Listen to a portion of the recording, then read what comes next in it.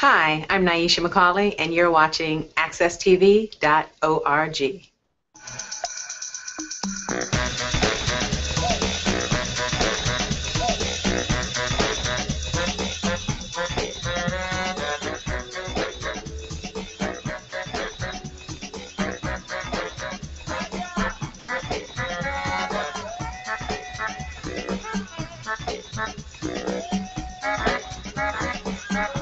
Uh, good morning again. This is uh, Jonathan Small, host and producer of All About You. Today is August the 19th, 2013. This program is broadcast live every week from AccessTV.org studios in downtown Hartford. This program is designed to give the guest a chance to give his or her life story, but many times we will get into a particular topic or a particular issue, which I am planning to do this morning. Uh, basically, I'm going to have a topic of a person that has a lot of expertise in history, philosophy. He has a world view knowledge on many different aspects of life. And basically, our topic uh, this morning is going to deal with violence, not just locally, but nationally as well as internationally. This morning, I have a well known expert in philosophy, Dr. Kuba Assegai. Good morning, Dr. Assegai. How you doing? Good morning. How are you doing, Brother Small? Oh, okay. It's got to look at me face to face. Yes. Okay. Could you kind of let people know before we get into our topic, pretty much where did your life got started at?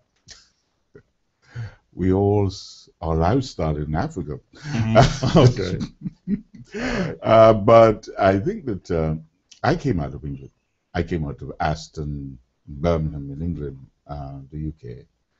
And in the 50s, grew up there with my mother, who you can say I was a single parent, but there's no such thing as a single parent among African people because every every child is a wanted child.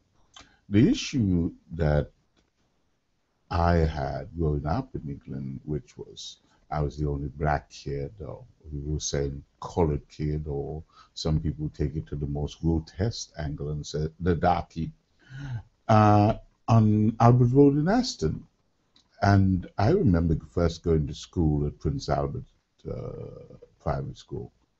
And my first day at school, my teacher put me to sit next to this nice little blonde hair white girl at the front. I was the only black child in the school. She looked at me, I looked at her. She looked at me, I looked at her, and she screamed.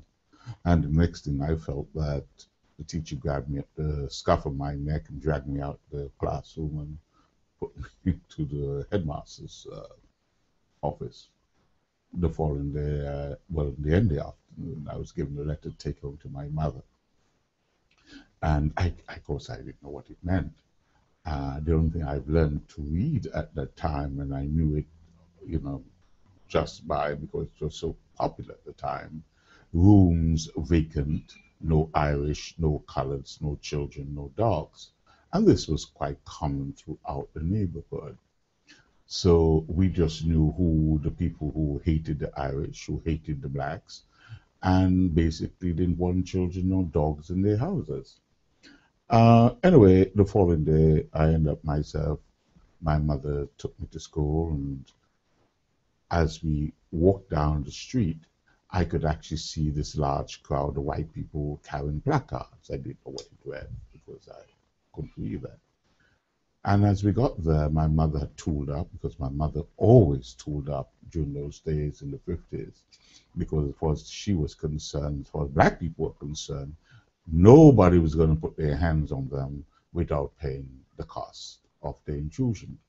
So she had this sort of cold wire she had in her bag.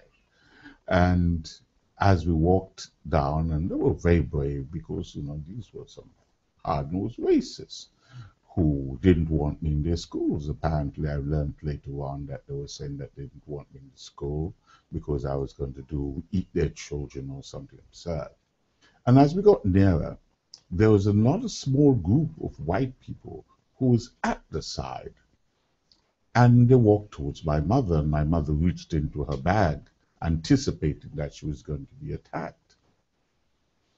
And they came and says, oh, you know, and explained to her that, you know, they heard what happened to me and they came to support her. And my mother said, okay. And she just walked And my mother was one of those ferocious Caribbean women far as she's concerned, she came out of the struggle of the out of you know the cane not the cane field but you know the workers struggling against the, the plantocracy. So she walked towards them, and these people just scattered aside, and we walked straight through them. We went in, and then there was this Jewish guy who was actually leading the group, uh, and he said to the headmaster, I be coming here to check that you all don't do anything to him. And if you all do, I'll have your guts for garters.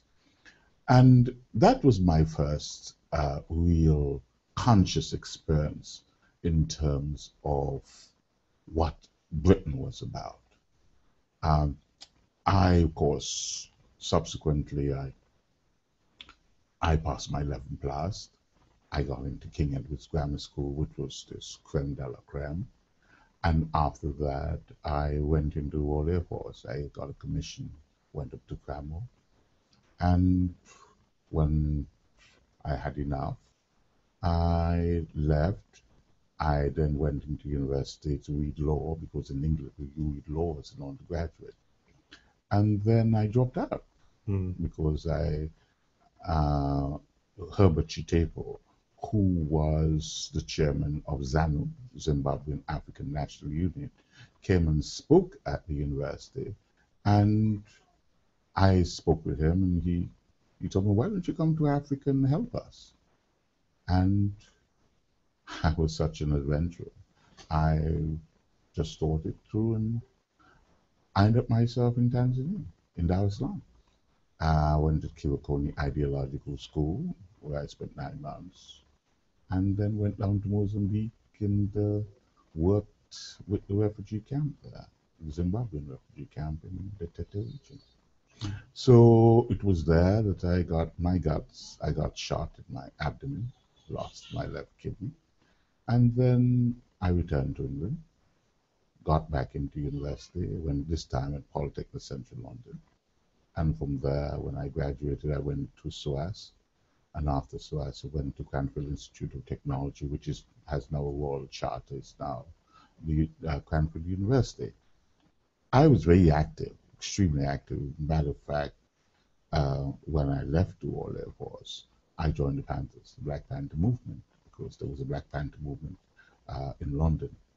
And I joined that, and we had a branch in Birmingham, etc., and so forth. Hold on, excuse me. Which particular year did you join the Black Panther movement, if you can um, I joined in 1972.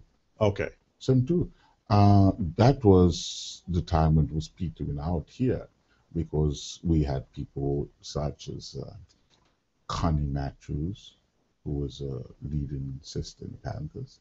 Uh, she was a, she was a, a part and parcel of the Eldridge Cleaver wing of the Panthers. Eldridge Cleaver at the time was in Algiers. And uh, later on, um, we got I got extremely active in terms of rent and what they were doing to our children in school. It was actually something that I'd learned because earlier in the 60s, uh, there was a book written by Bernard Coard, who was the former Prime Minister of Grenada, who was uh, overthrown by the American, by the fascist Reagan regime and uh, he had written a book with his wife Phyllis Phyllis Coard uh, about the the the ill treatment, the mental ill treatment of black children in the schools in England. It was called How the British Education System Made the West Indian Child Education Subnormal. And he laid out a blueprint as what we needed to do to counter this mental assault on black children. So we were actually dealing with Saturday schools. So on Saturdays, we'll organize schools to teach black children to make sure that they excel, you know, uh, not just in the school system, but also within their community and understand what they were about as human beings. Because we had to counter that psychological damage, which was the foundation why we are in the situation we're in. For example, But hold on now. We talk. We're going to get into our topic today about violence, and you pretty much explained that your life. You lived in England. You was raised in England, and then you went into the military. You lived in Africa. You went into different levels, and then you came back to England. Obviously, you live in the United States uh, right now. So now we have a problem of we're talking about violence in our society. First of all, could you kind of define what is violence on a criteria level? What is the real definition of our violence? how I would actually put violence, I would say that violence, mental, spiritual, and physical violence. You see, we as African people have been subjected to all three. Uh, mental violence, and the fact is that we have been um, we have been stripped of who we are. A matter of fact, we're totally confused. We don't know who, what our history. We have got no connectivity with our history. Very few of us want to look at our African past, which is the etymology of who we are. As a matter of fact, it's the etymology of all human beings. If you look at the genomes, Mhm. and that says that we are the original people. Mhm. Uh, uh, Leakey made that point years back, and he was dismissed as the, a crank.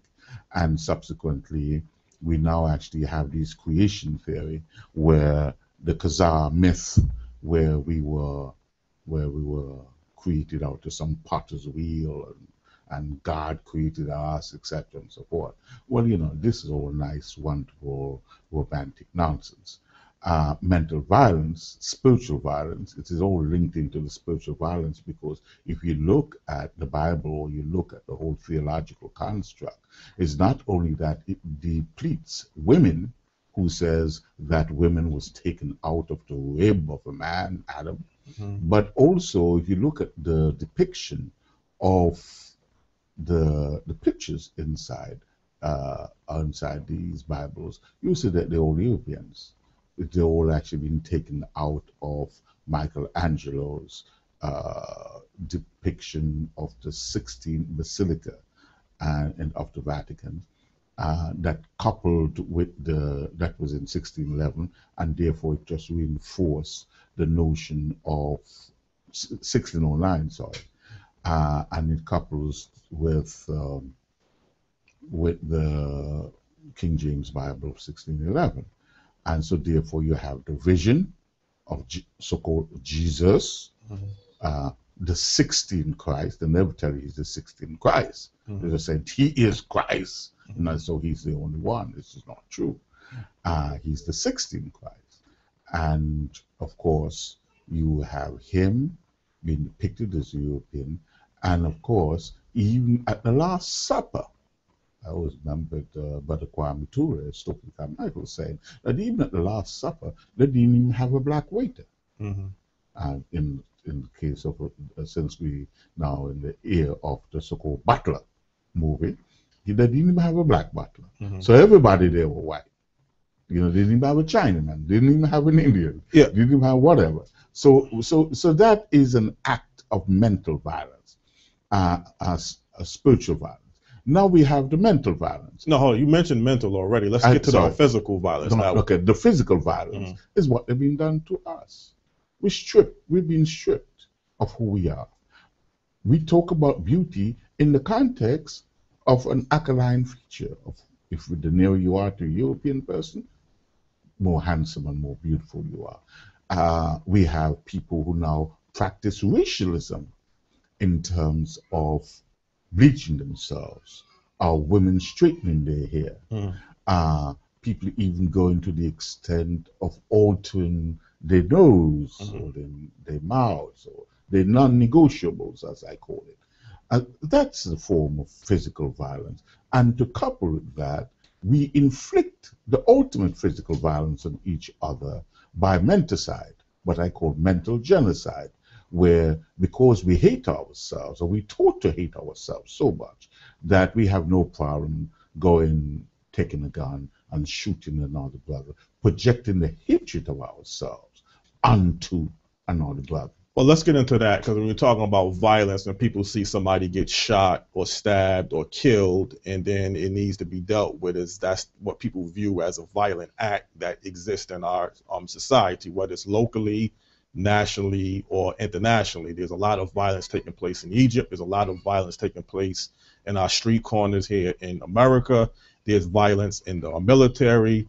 But the bottom line is what could be done to really resolve the type of violence on a physical, well, you say physical has a different level than just picking up a gun and or picking up a knife, stabbing or um, shooting somebody. But do we allow, if we're trying to solve this problem, is it up to the law enforcement? Is it up to the community? Is it up to the churches? I mean, who, how should we go about trying to resolve this problem of violence that we have with the end results of somebody being shot, stabbed, or killed?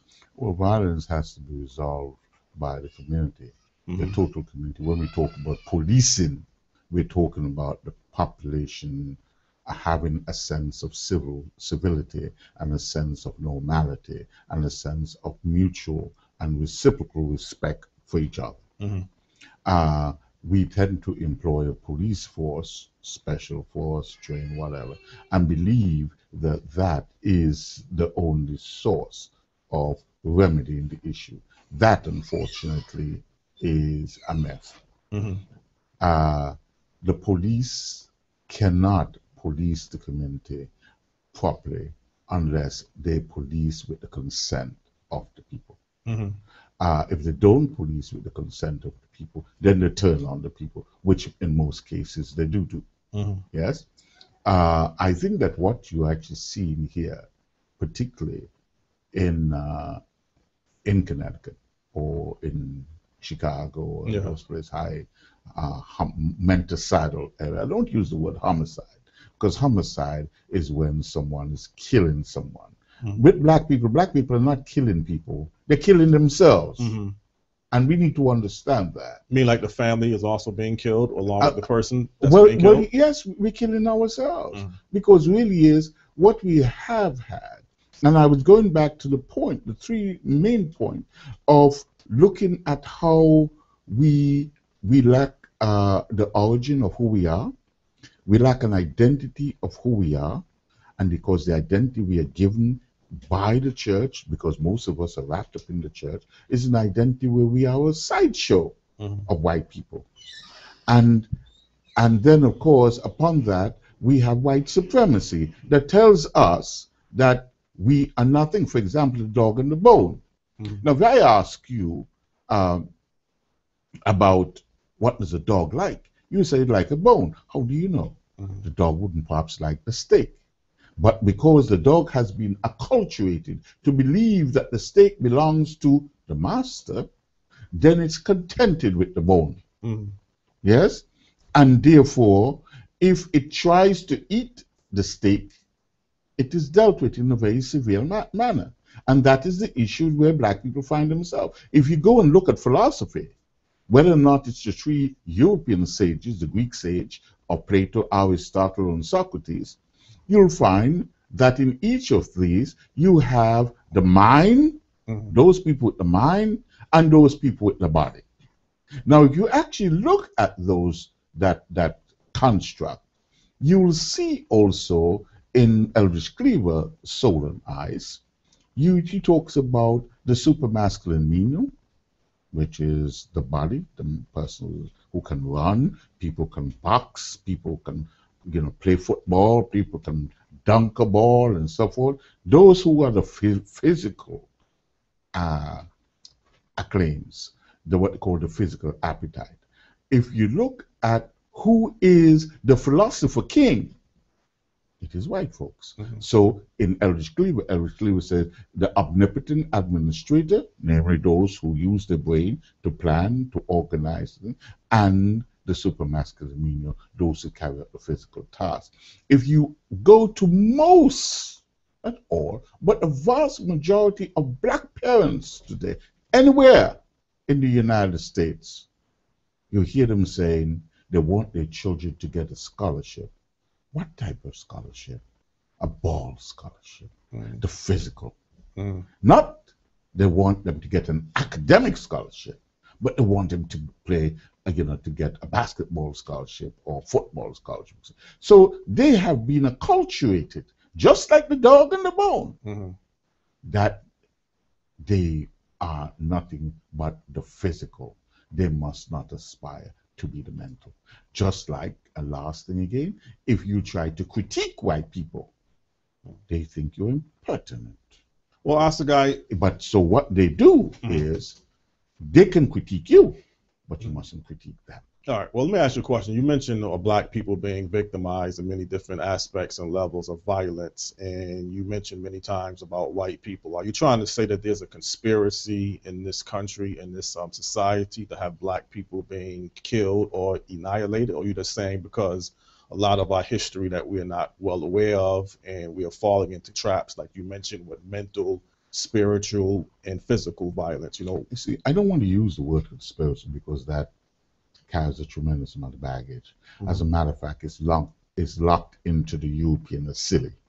Namely, if you cannot explain it, then therefore it's a conspiracy. It is a fact that as far as they're concerned, they want to wipe out African people. If you go and read Sidney Wilhelm, who needs the Negro?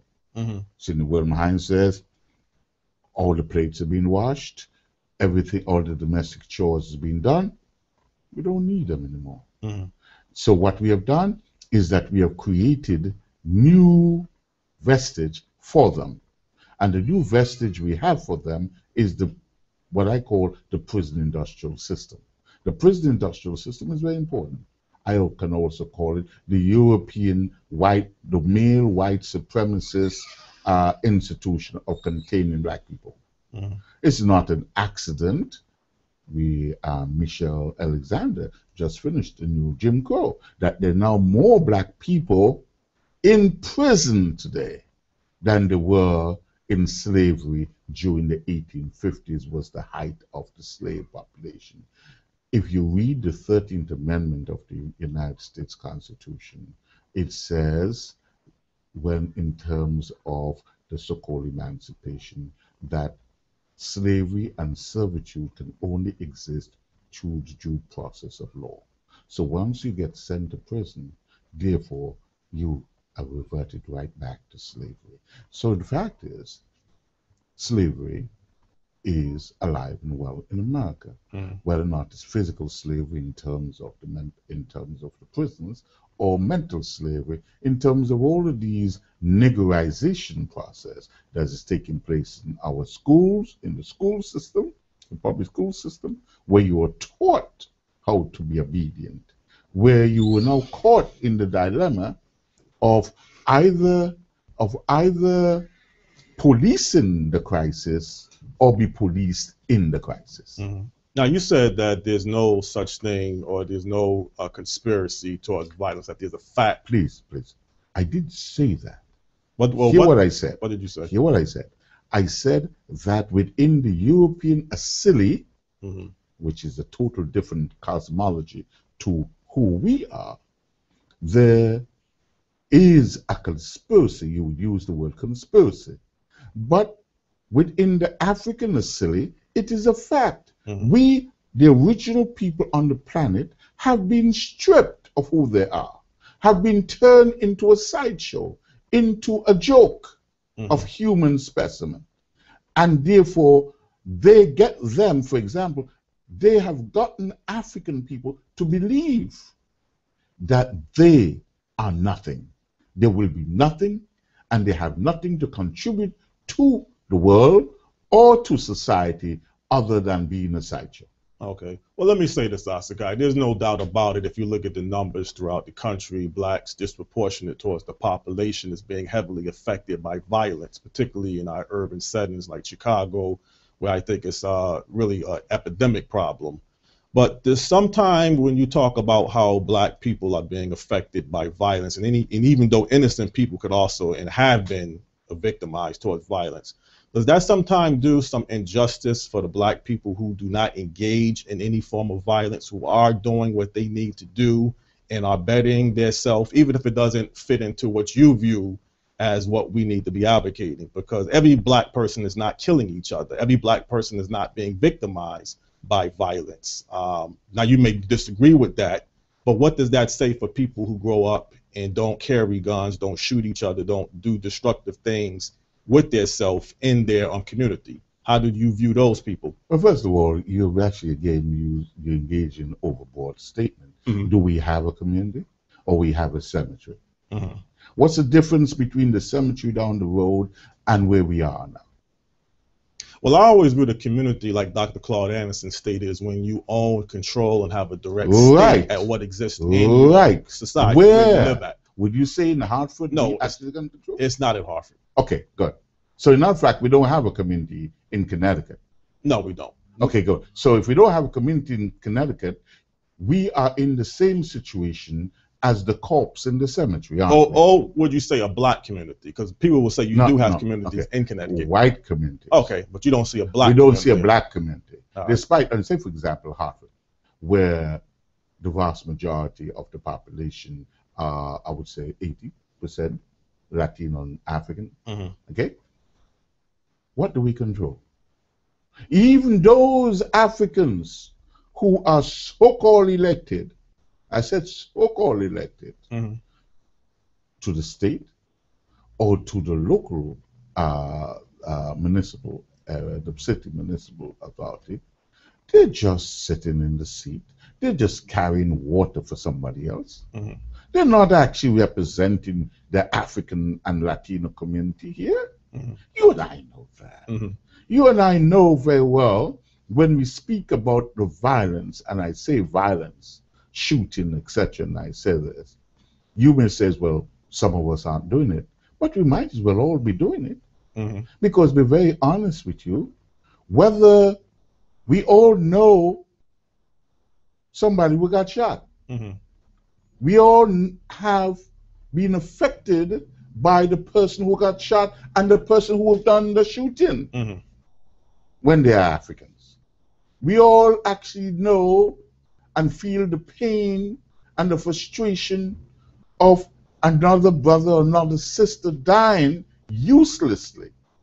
And if they are engaged in the self in destructive acts, they're not actually projecting. I mean, for example, when was the last time you heard an African, other than the brother over in Chicago, Chris, uh, I've forgotten the former policeman, where an African is killing a member of the oppressor group? Mhm.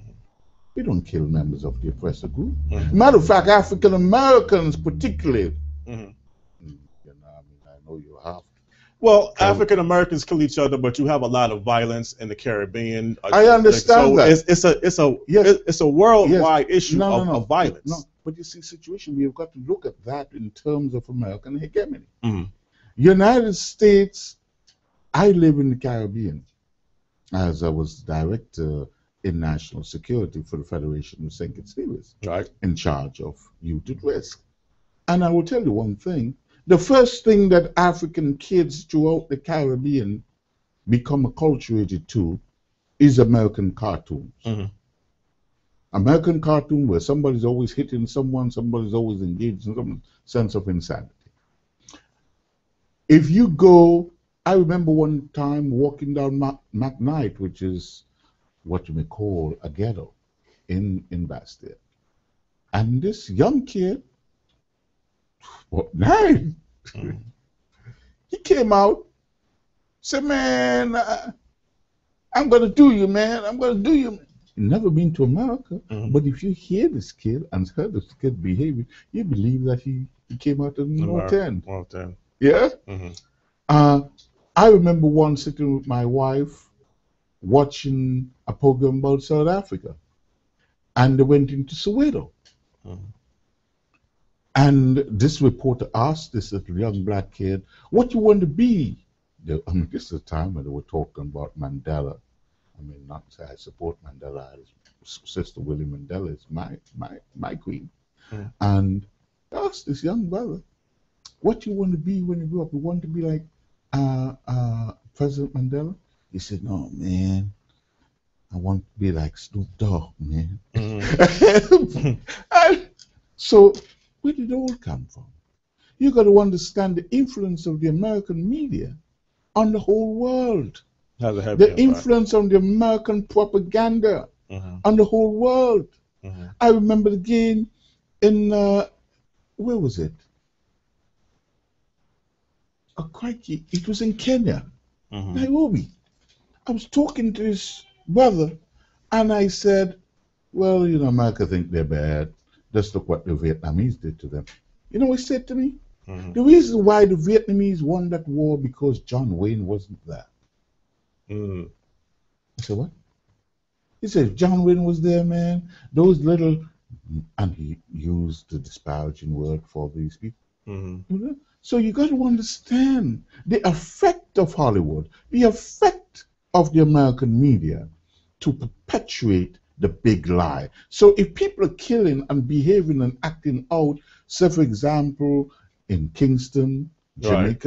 Mhm. that's a classic situation. Waterhouse, or what they call Firehouse, uh, uh, West uh, Kingston. West Kingston, etc., Mhm. where people come out with a big gun and Mhm. this madness to get it all from America because America is seen to be the bastion of sanity. Mhm. It is the panacea of life. Oh, you and I live here. You know, you know very well that's a lot of baloney. Hmm.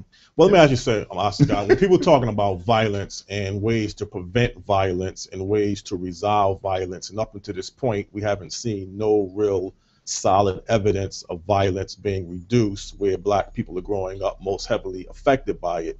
Um, is some of the ways that you think we're trying to solve violence telling people, well, if you have more job opportunities, you get better education, you get better mentoring, you get the churches and the religious aspects more involved in it, you get less single parent households. I mean, I hear so many lists of reasons why we have a major problem with violence. Um, are these the wrong ways that we are addressing how to solve violence?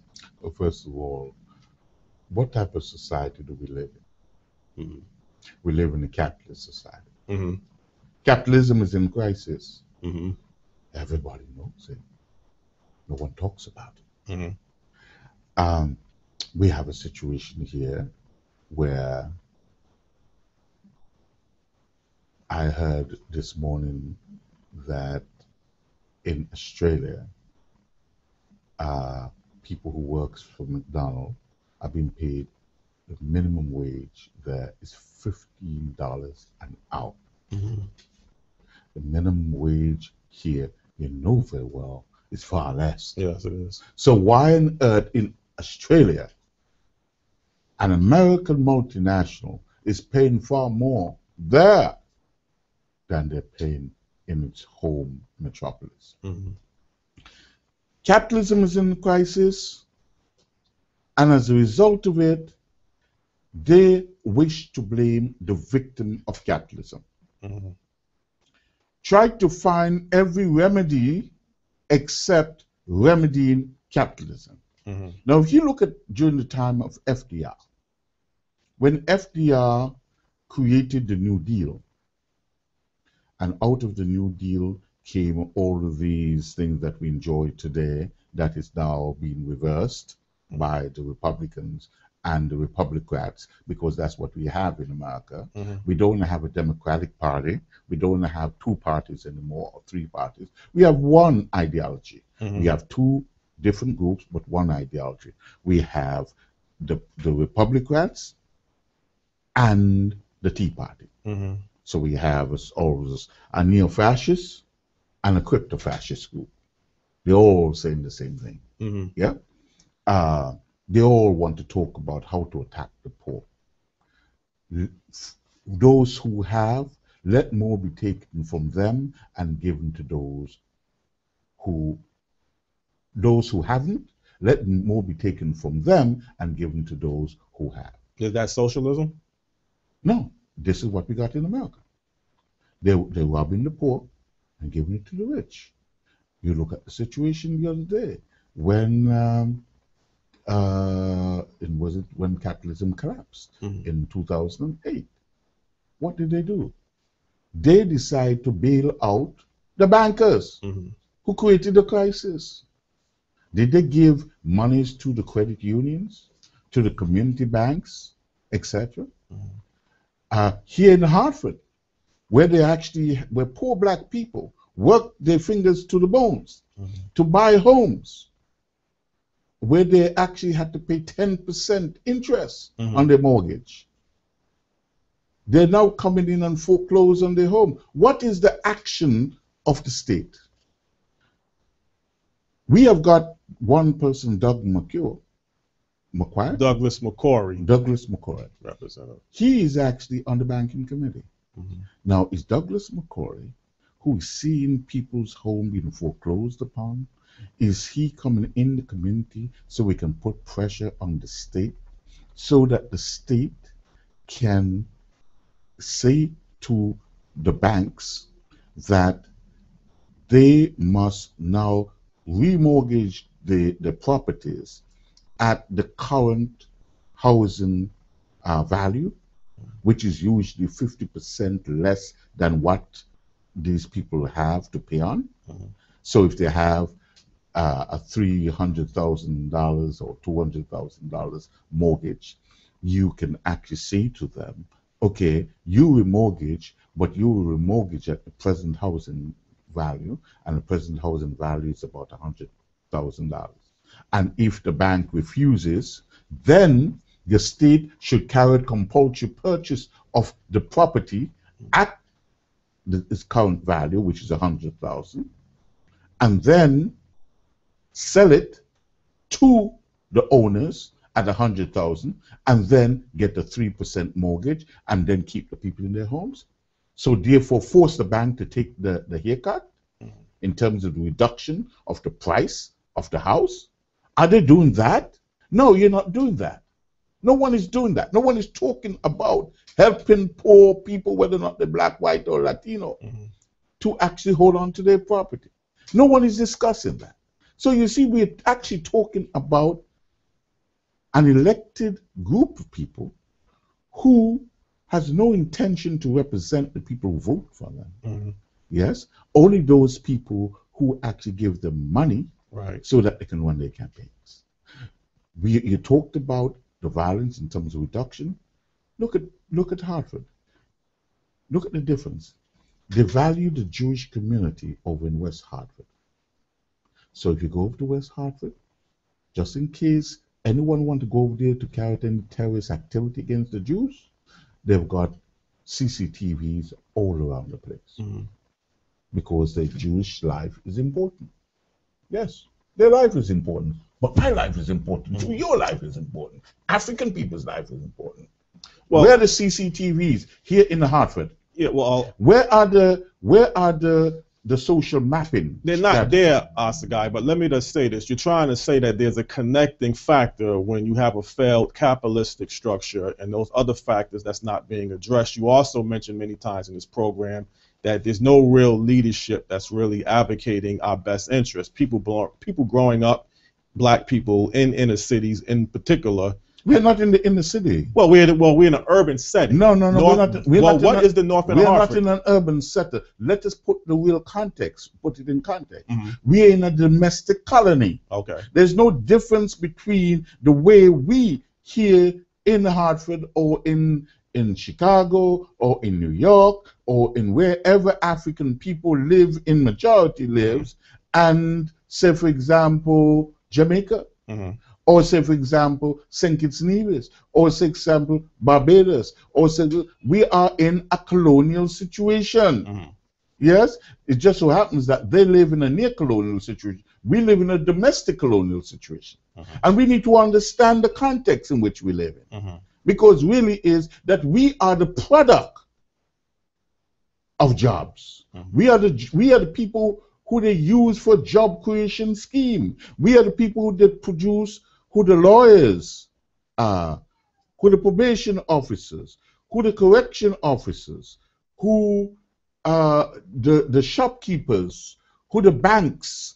We are the people who the they they, they leech on. We're the product. We are the product. We- yeah, we're the ones that's going into it, whether you want to define it, the criminal justice system Right. or something So in fact is, so in fact is, we are no longer. It's, it's no longer. Uh, we no longer make products. Like we no longer go into a factory. Mhm, and produce a tool and say, "Well, this is a product. I'm going to sell it." We have become the product. mhm. Yeah, as uh, as Ivan Illich says, the tools of conviviality. We are the one that making people rich. Mhm. Yeah, and therefore, uh, we any anything, any act where we attack our non non uh, non-negotiables becomes profitable for other people. Mhm. Yes. Well, I, well, Assegai, you said earlier in the program, even if you're not directly being affected by violence, you're still somewhat affected by it because Yes. it's in your whole family. It's spiritually, it's some. Oh, it's with- going to affect you. your children. children, exactly. Because, say for example, let's put it up. Because this is another issue that a lot of these bourgeois Negroes Mhm. fail to comprehend. Now, I'm guilty of that. My family is guilty of that. We don't live in Hartford. We live in the suburbs.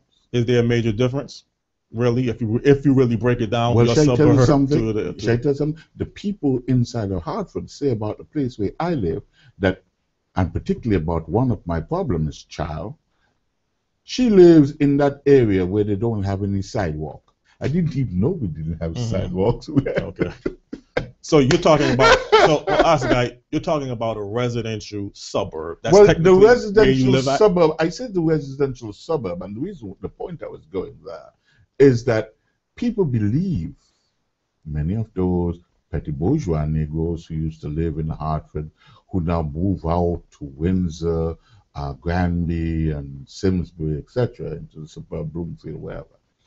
They believe because they're out there, they're better than the people in Hartford.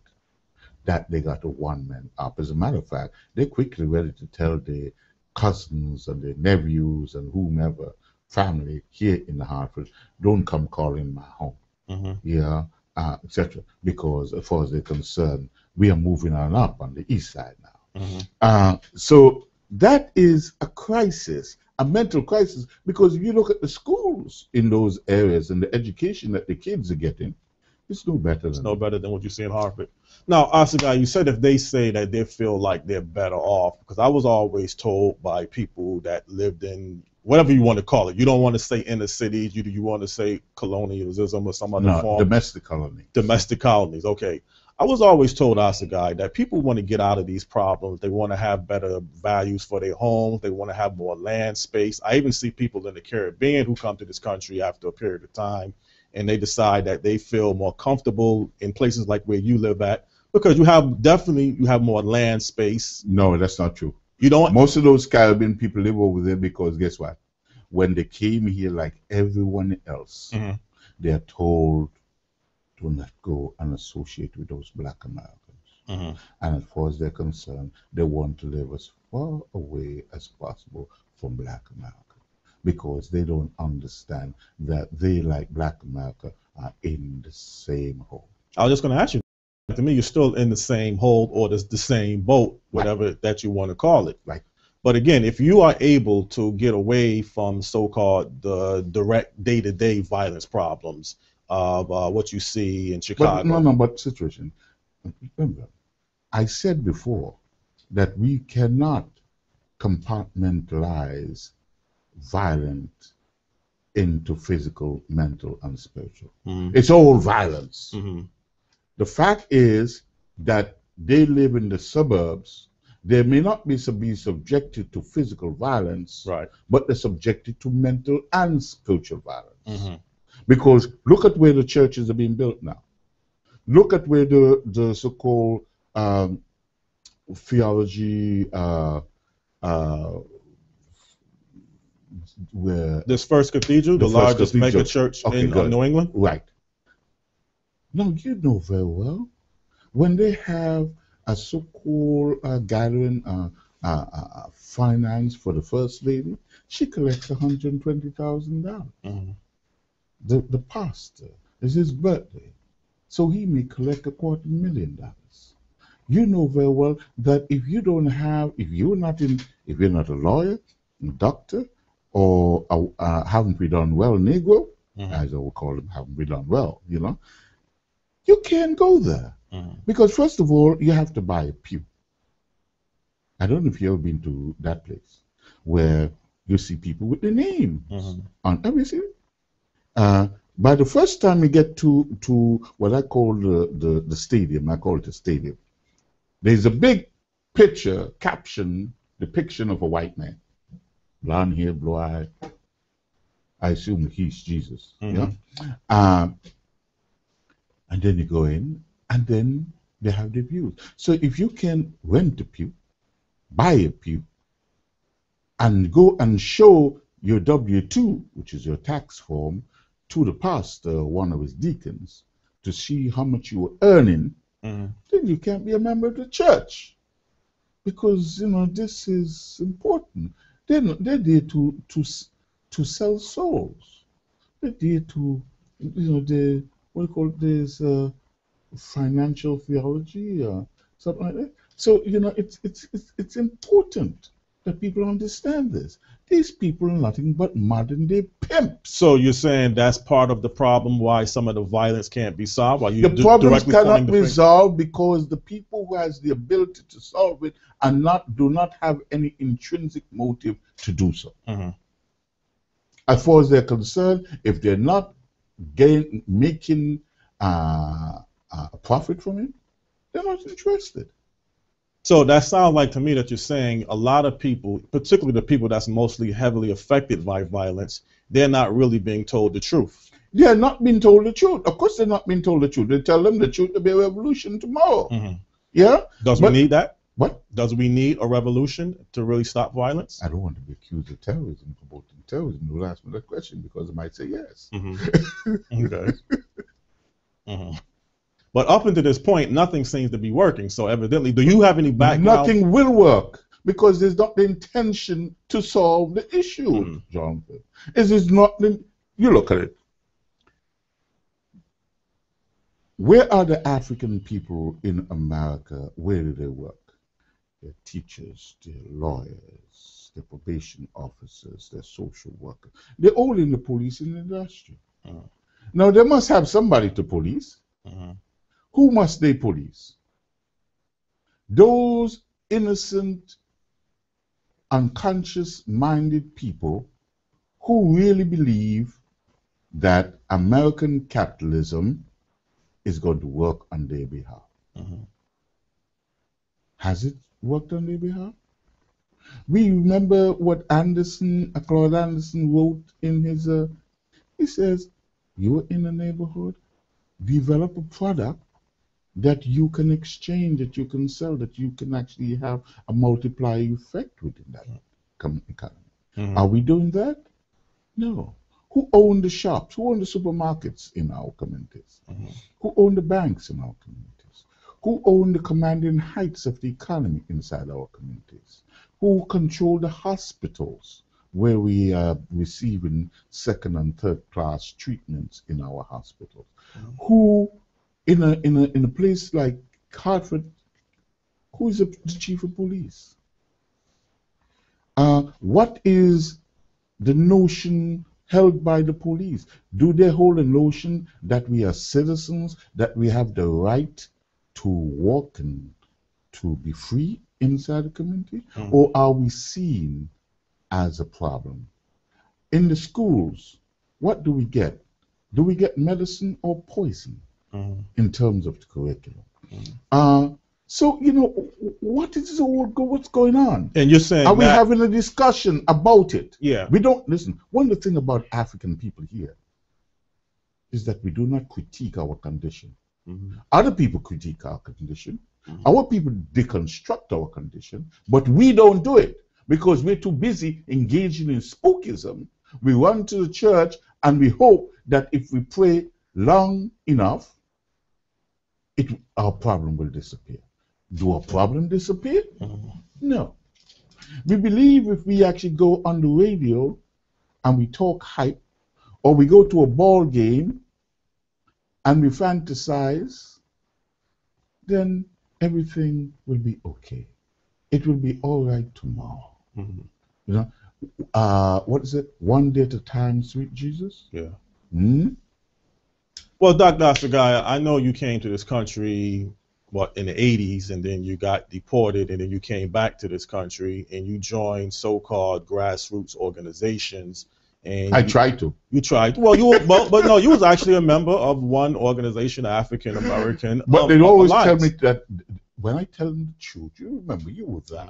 Jonathan. Come on, that's not me. You was told to get on the boat and go back to Oh, where right. you come from. Okay, good, Okay. good. Thank you. So there, so I'm saying that's another part of the problem. You came here, you tried to advocate certain agendas that you felt would be more effective. They didn't buy into it, And what happened to them now? They're still singing the same old song. I- And I- guess what? You look upon it. Had they adopted the policies and strategies I gave them, what do you think would have happened? it probably would have been a definitely better results. Um, but this is still a deep-rooted, systematic, systemic problem. A slave mentality. Okay. Remember what I said when I came here? They all live on a plantation. Mhm. And they're quite happy being on the plantation. And one thing I've learned here in America, this is why I would say I'm no longer in the help in the help business, is the fact is that when you try to help people, they first of all will turn on you. Mhm. because they see you. Sorry. They see you as the problem. So it's very much that greek situation where they do not deal with the message. They deal with the messenger Mhm. so the messenger so the fact is the messenger brings the message tells them this situation is terrible what do they do do they join with you to solve the, to solve the problem? No. They see you as the problem and they put you to death. Mhm. How many times have they linked up with white people Mhm. here in Connecticut to try to get me deported? Mhm. Again, Well, then again, I guy, it's not just you. Even Dr. Claude Anderson had a very difficult time when he tried to establish his economic plan throughout the country. oh yes, they'll So- get rid of him. Yeah. They'll get rid of him because he's a problem. Because as far as they're concerned, insanity is normal. Mhm. Oppression is normal. Mhm. Genocide is normal. Mhm. Why is it normal? Because somebody somewhere makes a profit. So, some degree, there's a certain level of justification why many people feel powerless that they can't solve this problem. They feel powerless because they're operating within a functionalistic system Mhm. and they're operating in that system and they are trying to abide by functionalism and therefore they cannot make any change to it. Well, I heard somebody a couple of weeks ago call the Reverend Al Sharpton show and mention something about Canada. You have a lot of open space in Canada. You have a very lower population base in Canada, and maybe that the black people in this country need to start to look at certain areas in Canada to go establish their own community. That that might be something that could be looked into. Not saying that that definitely have to happen. I think even you one time mentioned that we should try to establish 15 different states, and that was clearly rejected by people that you advocated that For towards too. let's look at it. Glad you raised the issue about Al Sharpton. Al Sharpton is a pimp. Mhm. Can be anything else. Yeah. He's now respectable because white folks use him as the engine for their cannon father. He can go and start talk to black people about this and that and the other. I like to go back to Frederick Douglass. You want to talk about the history of African people. Frederick Douglass always says, I'm not just a man, I'm a black man Mhm. that puts me in total different silly to the white silly. and he always says, you always put your bucket in your well there. Dig a hole in your own well. Mhm. Now the situation is there is enough for everyone here in America. There Resources. is enough resources Yeah. for everyone's need. Mhm. but they aren't enough for everyone's greed. Mhm. And what we have is society based on greed. This is why Ayn Rand objectivism has usurped the old biblical saying, I am my brother's keeper, or the Kantian concept of categorical imperative. Mhm. means that I should care for my own family, my own neighbor, etc. so forth. The situation here is we could develop cooperatives here because capitalism financial capitalism isn't working. Mhm. We need to have cooperatives where people can come together and share in the surplus of what we all produce. Mhm. Not someone just come and grab the whole surplus and run off to uh, and hide it in in some offshore bank, which is the case. Yes. Um, or, for example, you remember when uh, Colin Bennett was in charge here in the city and making sure that everyone had opportunities. Mhm. Yes, just before he died. Here's a Jamaican man came here, he got a big building, million dollar building over on on Albany Avenue. Mhm. But what is also significant is that did he do it all for himself? No.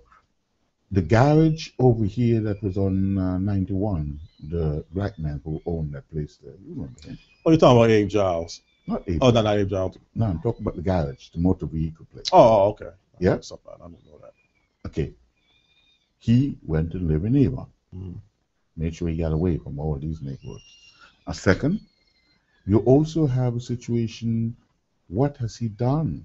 And I don't know what he did inside of Hartford to make sure that African people rose up. Mhm. He sold them cars. Mhm. Yes, everybody had a car. Did everybody have a house? Mhm. Did everybody have opportunities in terms of schools and education, etc., and so forth? You know, I mean, that's the difference between him and Hoffman, who also sell cars, but make sure that the Jewish home, the Hebrew home, the, the Jewish uh, community center, and all those other things are well resourced. Mhm. The the Hebrew school that they got here is are well resourced. I didn't see this brother did that. Mhm. And that is the difference about giving back, about actually helping somebody up Mhm. rather than putting your foot on their neck and saying stay there because the more many, the more you stay there, the more money I make. And also, and also, Dr. Assegai, you have to have an economic, political, and social agenda in place to really have what you need as a um, community. And if those could be some of the resources that could go towards really preventing and stopping violence, because right now that's non-existent. The people who are going to stop violence here is one those academics who really should be making a genuine and honest effort. Mm-hmm. Think of somebody like Andrew Woods. Let me call his name. Andrew Woods has been in the so-called violent prevention business for a very long time, hasn't he? Yes, he go back since the 90s, uh, I believe, in the community dealing with a lot of issues related towards the youth and all. What success has he had in this? No. The numbers still speak for themselves. The number speaks for himself. But if anyone, do you know the man, the person who who Andrew Young, who Andrew Woods hate most of all? Could it be you? Mhm. Okay. And you know each one of those Negroes around here, including the former mayor, Thirman Milner. Mhm. You know that Negro would not have me to do anything to alter the course of events here. Mhm. because he would, as far as he was concerned, and as far as they're concerned, I make white people uncomfortable. Mhm. And because I make white people uncomfortable, and they generalize, because it's not all white people I make uncomfortable. Those honest, sincere, sincere white people, they will support. It is those people who wants to make money off the suffering of the Latino and black people who are felt uncomfortable. Mhm.